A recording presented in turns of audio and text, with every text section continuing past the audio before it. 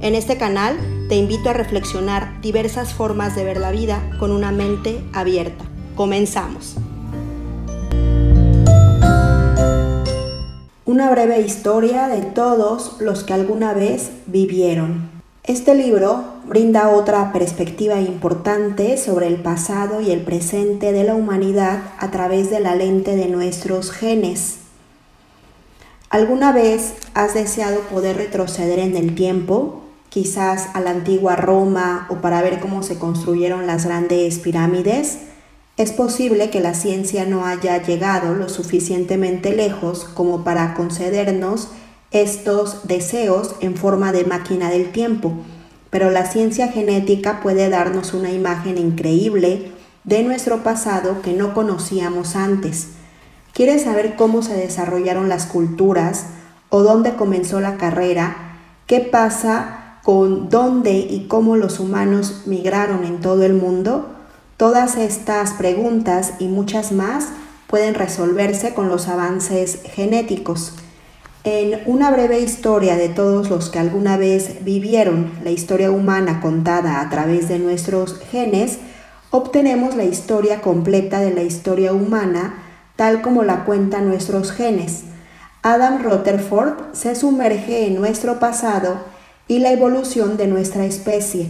Cuanto más retrocedemos, es fácil ver los conceptos erróneos que tenemos sobre la raza y la sociedad y descubrimos que todos somos mucho más parecidos de lo que nunca pensamos. Y utilizando este fascinante pasado genético, podemos arrojar luz sobre el futuro de la humanidad. Aquí están las tres lecciones más interesantes sobre la historia humana. Los genes del Homo sapiens pueden cambiar según el entorno y la cultura. Tú y yo somos descendientes de la realeza y descifrar los 3 mil millones de letras del genoma humano llevó 8 años, pero nos enseñó mucho sobre nosotros mismos. ¿Estás listo para obtener una mejor comprensión de lo que hay en tus genes? Allá vamos.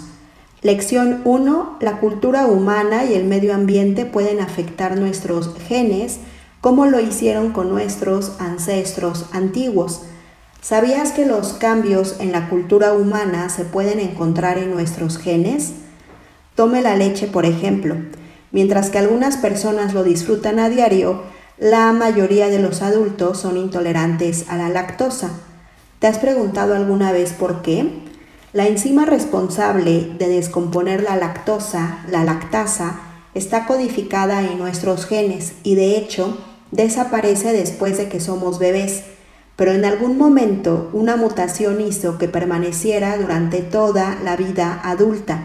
Esto sucedió en los europeos y es por eso que los de ascendencia europea pudieron disfrutar de la leche, lo que llevó a la práctica cultural de la ganadería lechera. Otros grupos en África y Asia también desarrollaron la capacidad de mantener la lactasa. Es probable que estos genes hayan mutado porque eran evolutivamente ventajoso poder digerir la lactosa. El medio ambiente también puede cambiar nuestros genes. Se cree que todos los humanos se originaron en África y que todos tenían la piel oscura. Las personas que emigraron a Europa hace 50.000 años también tenían la piel oscura. ¿Cómo terminaron con la piel más clara que tienen hoy? La piel oscura fue una adaptación al clima soleado. Podemos ver que las personas que emigraron a Suecia tuvieron un cambio en la piel hace unos 7700 años. Sus genes actuaron juntos para producir cabello, piel y ojos más claros como una adaptación a menos luz. Lección 2. La realeza está en el árbol genealógico de todos en la tierra. Si eres como yo, es posible que hayas visto que tu árbol genealógico se remonta a alguien de la realeza, como Carlo Magno. Bastante impresionante, ¿verdad? Lamento reventar tu burbuja, pero el linaje de todos se remonta a la realeza. Y he aquí por qué. Joseph Chang, un estadístico de Yale, analizó la ascendencia a través de los números. Quería averiguar cuánto tiempo atrás había que ir para encontrar un ancestro común para todos los europeos.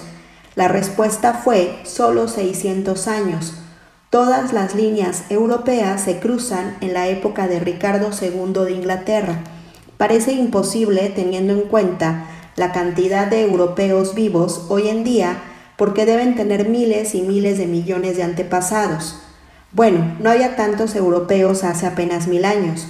Todos los europeos que viven hoy descienden literalmente de todas las personas que vivían en el siglo IX.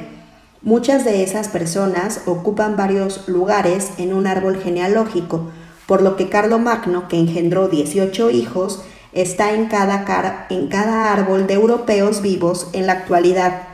De manera similar, Genghis Khan es un ancestro común en todos los árboles genealógicos asiáticos y Nefertiti es lo mismo para los africanos. En todo el mundo, en cada árbol genealógico, todos están relacionados con alguna antigua realeza. Lección 3. Entendemos mucho más sobre el genoma humano después de descifrarlo en el año 2000. Fue relativamente reciente el año 2000, cuando por fin pudimos descifrar el genoma humano, tomó ocho años leer los 3.000 millones de letras del código genético humano y fue verdaderamente una hazaña revolucionaria. Aprendimos muchas cosas emocionantes y fascinantes sobre el código que nos hace quienes somos. Los científicos supusieron que teníamos más de 100.000 genes cuando en realidad solo tenemos 20.000 pero lo que quizás sea aún más loco es que un plátano tiene incluso más genes que nosotros. ¿Sabías que la mayor parte de nuestro ADN no tiene ningún propósito? Según los científicos, solo el 2% de nuestros genes son realmente legibles. El resto son conocidos como ADN basura, que es incomprensible, pero aún no estamos totalmente seguros de si tienen un propósito o no. Otro descubrimiento fascinante fue cuán complejas son las interacciones entre nuestros genes. Los investigadores primero creyeron que un gen específico era un código para un resultado específico, como una enfermedad, pero ahora sabemos que este no es el caso. Nuestros genes interactúan de maneras complicadas y de 10 a cientos de ellos son en realidad los que juegan un papel en la enfermedad.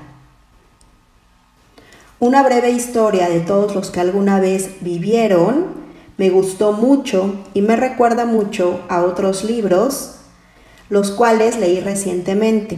Los principios de la genética siempre me fascinan por lo mucho que nos dicen sobre la vida. Este libro me enseñó algunos principios interesantes que podemos aprender del ADN y estoy segura de que lo disfrutarás. Muchas gracias por llegar hasta aquí.